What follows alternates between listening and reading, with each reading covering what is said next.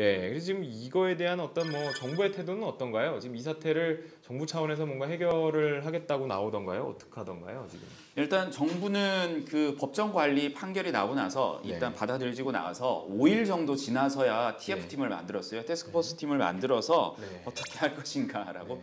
대책을 마련을 하고 있는데 예. 이렇게 이렇게 하자라는 전체적인 방향성이 한진해운이 당연히 주주였으니까 예. 너희가 제일 큰 책임을 져야 된다. 나머지는 우리가 어떻게 할 수 없다. 채권단 자체도 이미 손을 예. 들고 있는 상태였거든요. 네.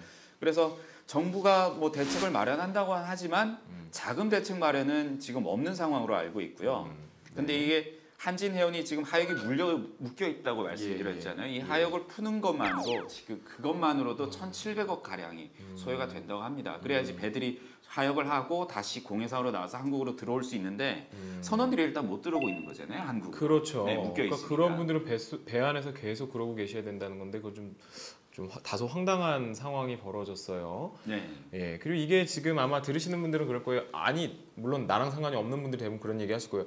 왜 정부가 나서서 사- 회사를 살리는지 나 이해가 안 된다 이런 분들이 있으세요. 음. 그죠? 그러니까 저도 그게 사실은 이해가 좀 잘 안 되고 좀 어려운 부분이기는 해요. 그러니까 정부 입장에서는 이거 정부 차원에서 나서는 이유는 뭐냐면 이 회사가 망한다고 생각을 해봐라. 그러면 뭐 내수며 수출이며 굉장히 큰 타격이 있을 거고 여기에 관련된 하청업체며 뭐며 뭐며 막 있어서 어, 결국은 걱정하는 건 뭐냐면요. 이 회사가 망함으로 인해서 이제 법인세라든지 걷어들이는 세금이 확 줄어버리잖아요. 음. 그러니까 국가로서는 어떻게 보면은 나의 어떤 황금알을 낳고 있던 그 거위가 없어지는 상황이니까 그 세금을 거쳐서 또 뭐 여러 가지 일들을 해야 되는데 아마 그런 부분이 맞물려 있어 갖고 이게 뭐 정부 자금을 대느냐 마느냐 뭐 이런 얘기가 오고 가는 것 같아요. 저기 뭐 예. 지금 그 댓글 올리신 분 중에 왜 회사를 나라 입장에서 살려야 되는지 궁금하다고 하신 분들이 예. 계셨는데 예. 저도 몇 마디 더 보태 드릴게요.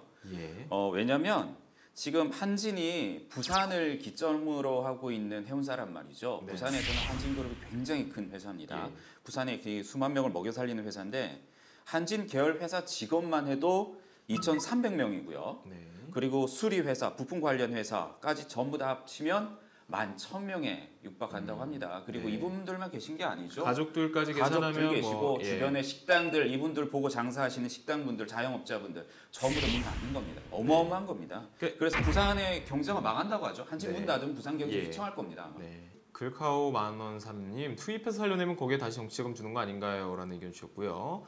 어 저기 니까짓게 가미님 딱 정답을 말씀해 주셨어요. 회사가 잘 되면 성과급 분식회계 파티하고 회사가 망하면 국민 세금 부담. 예. 자 팬매님이 어, 한진해운의 알짜자산은 이미 주 한진이 헐값에 인수했습니다. 한진에서 지원해 준다는 미명하에. 예. 자 어, 꿈지랑님, 저도 망하게 하는데 한 손 들고 싶어요. 망하면 결국 고단한 건 관련 생업자들이겠지만, 네 맞습니다.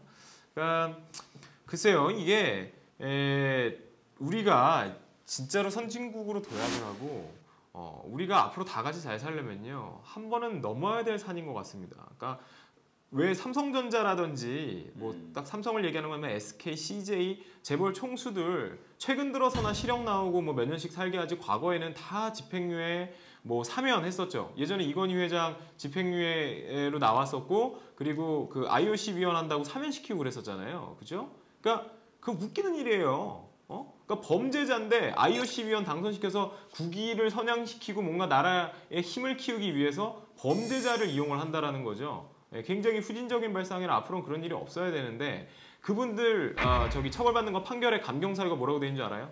대한민국 경제 발전에 이바지한 점. 이게 문구로 들어가 있어요. 경제 발전에 이바지하면 횡령해도 되고 배임해도 된다라는 게 법원의 입장이었다는 것이죠. 그게 이제 바뀌고 있는 중인 것이고요.